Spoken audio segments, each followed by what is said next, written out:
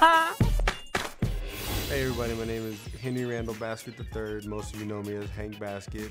All throughout my life, I've always been attracted to sports and I've been able to play most sports that I've ever tried. And I, uh, when I got to high school, I was really big in football, baseball, basketball, and track, but there had to come a point where I had to stop baseball because of track, and I knew the other three would be ways for me to possibly pursue a professional career. Sports and academics actually opened up a lot for me, so much that it, football allowed me to play in the NFL.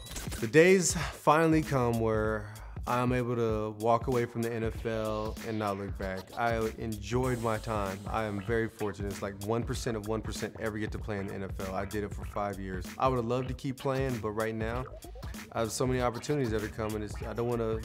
I don't want to miss out on them. I believe you never know what you're good at until you try. So, am I a Hollywood A-list actor? I don't know yet. Maybe one day, maybe not. It takes a lot of hard work, and that's something I've, my career has been about. My entire life has been about hard work going out there and earning it because you appreciate it that much more and that's what I plan on doing out here. What's funny is I, I never really knew who Kendra was. I never grew up watching a lot of television and I had no idea about the girls next door. And lo and behold, I got in uh, invited to the Playboy Golf Tournament and that's where Kendra and I met. It's funny, if you look at our very first picture, it doesn't look like it was, you know, our first meeting. It looks like we've actually been dating for a while and We've spoken to each other every day since then. We haven't gone more than 24 hours without speaking to each other.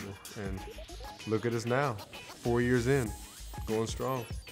Married two years, going on three. Have a two-year-old son. This has been an ultimate blessing in our lives. We've been through a lot, and we've taken on everything the world can throw at us. And the biggest part of it all is we've stood by each other, and we've grown together, and we've truly shown that love can survive all.